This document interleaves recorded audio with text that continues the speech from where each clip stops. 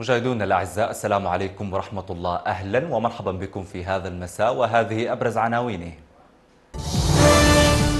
دقلو يؤكد ضرورة التنسيق ما بين الخرطوم وجوبا لمصلحة أبيي توت جلواك يناشد اللجنتين بخصوص الجداول الزمنية المنصوص عليها لوضع حد لحالة الاستقرار بأبيي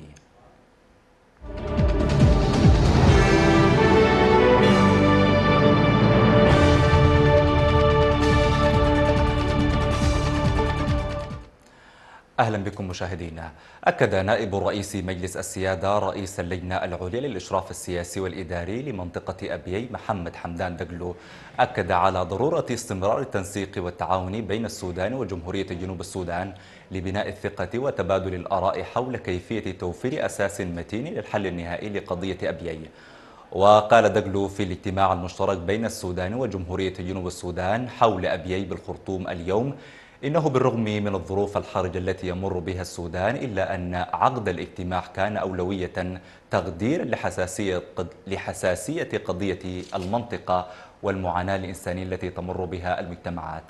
مبينا أن ظروف السكان في أبيي لا تحتمل التأخير مشيرا إلى أهمية التوصل من خلال الاجتماع إلى نتائج إيجابية لوضع أبيي على مسار السلام العادل والمستدام.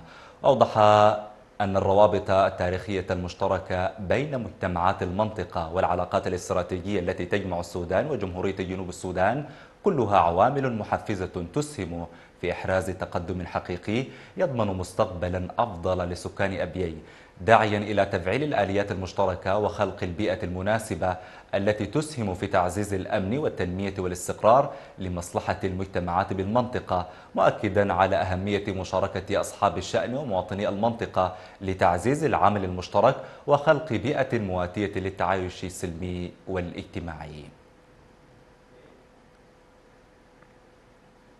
تعلمون الظروف الحرجة التي يمر بها السودان في هذا التوقيت إلا أن هذه الظروف لم تمنعنا أن نلتقي اليوم في هذا الاجتماع المشترك لأن حساسية قضية المنطقة والمعاناة الإنسانية التي تمر بها المجتمعات هناك تمثل أولوية. لا تتحمل التأخير. لذلك نأمل أن نتوصل إلى نتائج إيجابية لوضع لوضع أبيي على مسار السلام العادل والمستدام. إلى ذلك ناشد مستشار رئيس دولة جنوب السودان للشؤون الأمنية تود جلواك اللجنتين بضرورة الإسراع في الجداول الزمنية المضروبة لمصلحة استقرار المواطن بمنطقة أبيي. موضوع تطور طويل جدا. نحن الدولتين نوصل لحل النهاية لموضوع تنابيه. نحن ما ممكن كل يوم نناقش في إطار أبيي بدون حل والمواطن دفع فاتورة من كل الطرفين.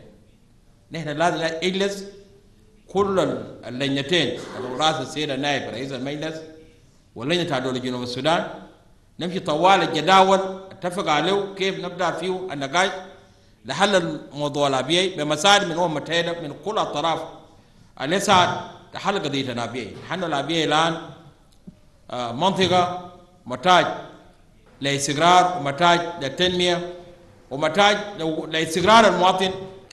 عقد والي ولاية غرب دارفور الجنرال خميس عبد الله بكر اجتماعا موسعا بمكتبه الموقد بمعسكر كريندان مع المنظمات الأممية العاملة في المجال الإنساني بالولاية.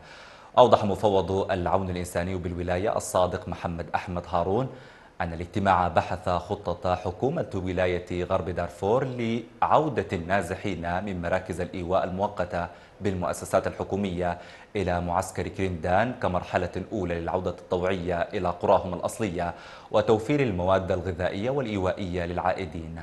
مؤكدا عودة أكثر من ألفي أسرة إلى المعسكر وإخلاء ثلاث مؤسسات حكومية من مراكز الإيواء المؤقتة.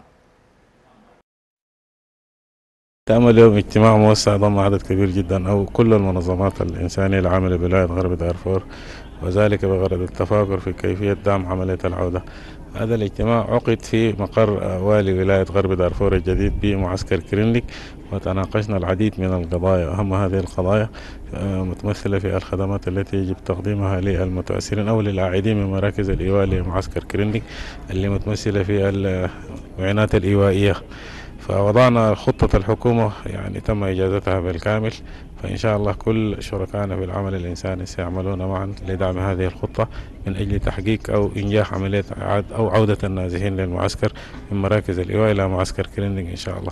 وعلى حسب الخطة الموضوعية إن شاء الله سيتم إنجاز أو تنفيذ هذا البرامج في خلال أو قبل حلول فصل الخريف القادم إن شاء الله بإذن الله. وجد المعرض الشبابي الثاني الذي ينظمه المجلس الأعلى للشباب والرياضة بالولاية الشمالية إقبالا واسعا من جمهور الولاية ومشاركة من المهتمين والشركات الراعية. ويأتي المعرض ضمن برامج أخرى يقوم بها المجلس الأعلى للشباب والرياضة في سبيل تحفيز الشباب نحو العمل والإنتاج. بمشاركة عدد من الواجهات والبيوتات التجارية الراعية نظم المجلس الأعلى للشباب والرياضة بالولاية معرض الشباب في نسخته الثانية نحو تأكيد دور الشباب في الاطلاع بأدوار فاعلة في المجتمع.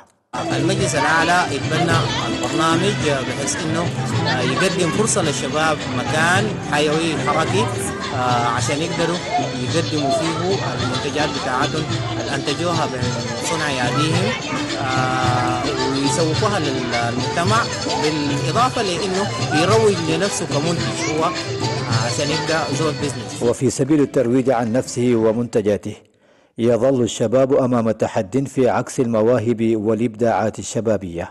بتحديث لنا مواهب الشباب الرسم المسرح العمل اليدوي كل المنتجات والدورات التدريبيه اللي بتعملها الإدارة العامة للشباب بتجي تعمل المعرض عشان تعمل تسويق وترويج للشباب اللي ما عندهم فرص للتسويق والترويج وتنمي فيهم ثقافة العمل الحر.